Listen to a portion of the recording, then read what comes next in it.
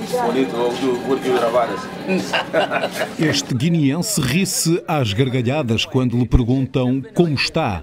Chama-se Bainha Chaque e vai poder voltar a ver tudo o que o rodeia, até as mulheres bonitas, diz ele.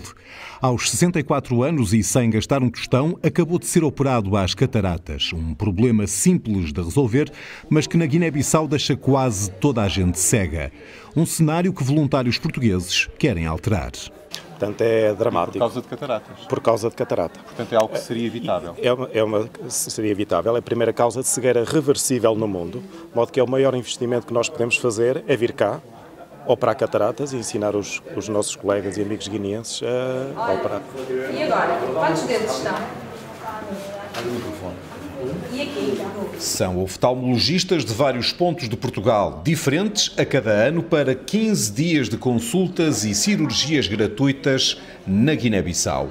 Ao mesmo tempo, apostam na formação de médicos guineenses. O meu sonho era, daqui a algum tempo, poder vir cá à Guiné e, e, chegar cá e não precisar de fazer cirurgia nenhuma porque os colegas de cá estão eles a trabalhar e nessa altura eu venho passar umas férias.